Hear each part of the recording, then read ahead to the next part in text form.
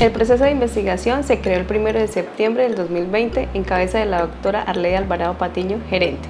El grupo de investigación se denomina GIORO y está reconocido y avalado por MinCiencias a través de la convocatoria 894 del 2021.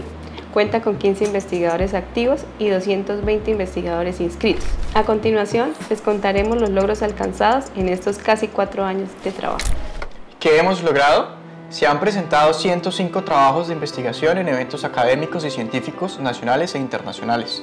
En modalidad de póster y ponencias obtuvimos el segundo lugar en el Congreso de Pediatría y el primer lugar en el Congreso Internacional de Simvest. Hemos llevado el nombre del oro a diferentes latitudes, México, Puerto Rico, Bolivia, Brasil, Costa Rica, Estados Unidos y Europa.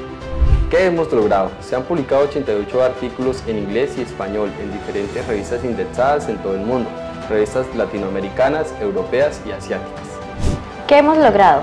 Estamos participando en 14 estudios multicéntricos del orden mundial, estudiando temas de cirugía, pediatría, neurociencias, ortopedia, infecciones y salud pública.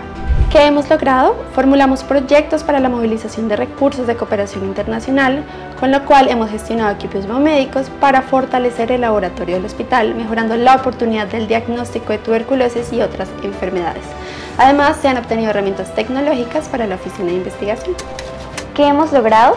Creamos el semillero de niños investigadores que cuenta con siete niños. Se han realizado dos trabajos de investigación de interés médico en la población estudiantil sobre la obesidad infantil y el impacto de tiempo en pantalla. Un trabajo ya fue publicado en una revista argentina y el otro se encuentra en proceso editorial con una revista mexicana. ¿Qué hemos logrado? Hemos participado como ponentes, aliados y cooperantes en diferentes convocatorias con otras entidades. Hemos desarrollado proyectos de investigación con jóvenes universitarios a través de convenios con instituciones educativas del orden local y nacional Además, hemos sido identificados por MinCiencias como actores en investigación relevantes para el departamento de Casanare y fuimos invitados por parte de MinCiencias a participar en la construcción de la política de investigación nacional.